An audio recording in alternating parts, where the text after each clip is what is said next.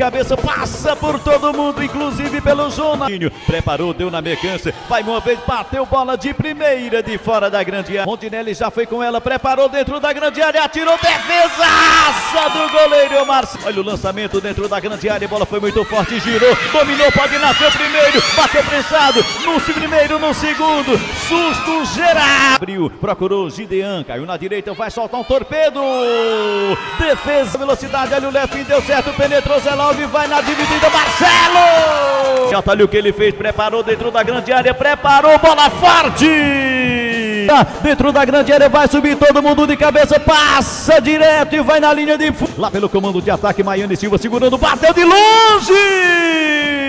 Qualidade Zay vai correr com tudo, vai dar no bico da grande área, deu certo agora, penetrou, bateu, mas a Gaspar penetrou na esquerda, pode nascer, vai com tudo, foi empurrado e o árbitro diz o quê?